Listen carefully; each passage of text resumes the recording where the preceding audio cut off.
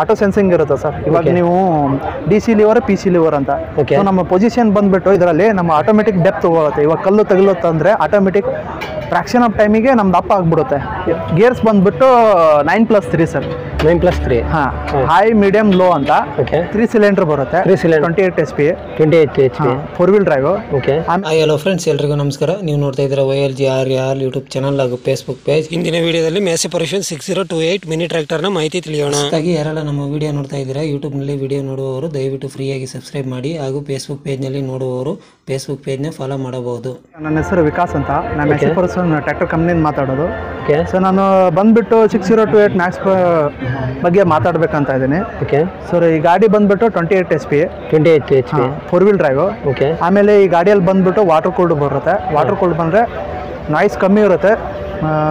ಗಾಡಿ ಬಿಸಿ ಆಗೋ ಕಮ್ಮಿ ಬಿಸಿ ಆಗೋದಿಲ್ಲ ಅಂದರೆ ಹೀಟಿಂಗ್ ಆಗೋದಿಲ್ಲ. ಆಮೇಲೆ ಬಂದ್ಬಿಟ್ಟು ಇದರಲ್ಲಿ ತ್ರೀ ಸಿಲಿಂಡರ್ ಬರುತ್ತೆ. ತ್ರೀ ಸಿಲಿಂಡರ್ ಆಮೇಲೆ ಟೆಂಡಮ್ ಬಂಪ್ ಬರುತ್ತೆ. ಟೆಂಡಮ್ ಬಂಪ್ ಬಂದ್ಬಿಟ್ಟು ಅದನ್ನ ಏನಾಗುತ್ತೆ? ನಮ್ಮ ಆರ್ ಎಂ ಬಿ ಪ್ಲೋ ಅಂದ್ರೆ ಪಲ್ಟಿ ನೇಗ್ಲ್ ಅಂತೀವಿ? ಪಲ್ಟಿ ನೇಗ್ಲಿಗೆ ಯೂಸ್ ಆಗುತ್ತೆ. ಆಮೇಲೆ ಬಂದ್ಬಿಟ್ಟು ಡಿವೆಲ್ ಕ್ಲಚ್ ಡಿವೆಲ್ ಕ್ಲಚ್ ಬಂದ್ಬಿಟ್ಟು ಡಿವೆಲ್ ಸಿಂಗಲ್ ಕ್ಲಚ್ ಏನ್ ಮಾಡುತ್ತೆ? ಬರೀ ಇಂಜಿನ್ ಅಷ್ಟೇ ಕಂಟ್ರೋಲ್ ಮಾಡುತ್ತೆ. ಡಿವೆಲ್ ಕ್ಲಚ್ ಏನಾಗುತ್ತೆ? P T O plus transmission plus engine control ಮಾಡುತ್ತೆ ಅಟ್ ಎ ಟೈಮ್ಗೆ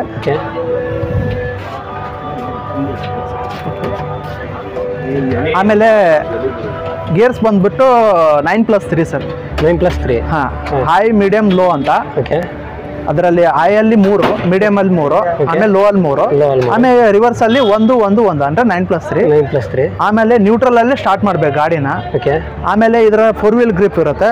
ಆಮೇಲೆ ರೋಡ್ ಮೇಲೆ ಹೋಗುವಾಗ ಟೂ ವೀಲ್ ಹಾಕೋಬೇಕು ರೋಡ್ ಮೇಲೆ ಹೋಗೋದು ಟೂ ವೀಲ್ ಹಾಕೋಬೇಕು ಓಕೆ ಆಮೇಲೆ ಫೀಲ್ಡ್ ಅಲ್ಲಿ ಇದ್ರೆ ಫೋರ್ ವೀಲ್ ಡ್ರೈವ್ ಹಾಕೋಬೇಕು. ಆಮೇಲೆ ಕೆಸರ ಏನಾದರೂ ಆದ್ರೆ ನಾವು ಅಲ್ಲಿ ಡಿಫ್ರೆನ್ಸಿಯಲ್ ಲಾಕ್ ಇಲ್ಲಿದೆ ನೋಡಿ. ಓಕೆ ಲಾಕು ಲಾಕ್ ಪ್ರೆಸ್ ಮಾಡಬೇಕು. ಮಾಡಿದಾಗ.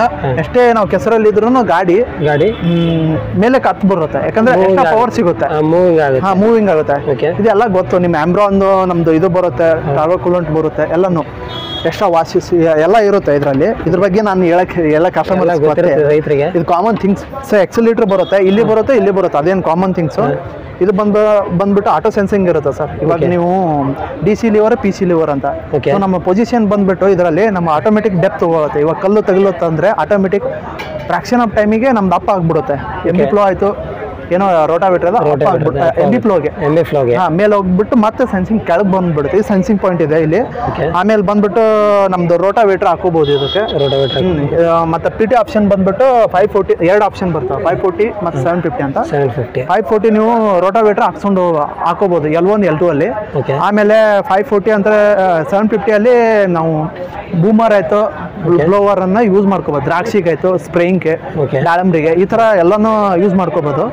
ಆಮೇಲೆ ಇದು ಟ್ವೆಂಟಿ ಫೈವ್ ಲೀಟರ್ಸ್ ಬರುತ್ತೆ ಸರ್ ಫ್ಯೂಲ್ ಟ್ಯಾಂಕ್ ಕೆಪಾಸಿಟಿ ಹಾಂ ಫ್ಯೂಲ್ ಟ್ಯಾಂಕು ಆಮೇಲೆ ಸ್ಪೂನ್ ವಾಲ್ ಬಂದಿದೆ ಎರಡು ಆರ್ ಎಂ ಬಿ ಪ್ಲೋ ಹಾಕೊಳ್ಳೋಕ್ಕೆ ಇಲ್ಲಿ ಈ ಥರ ಬರುತ್ತೆ. R M B flow R M B plough ಆ ಥರ ನೈನ್ ಹಾಂ ರಿವರ್ಸಿಬಲ್ ಎಂ ಬಿ ಪ್ಲೋ ಆಮೇಲೆ ನಿಮ್ದು ಪಿ ಟಿ ಅಂತ ನಿಮ್ಗೆ ಮಾಮೂಲಾಗಿ ಗೊತ್ತಿದೆ.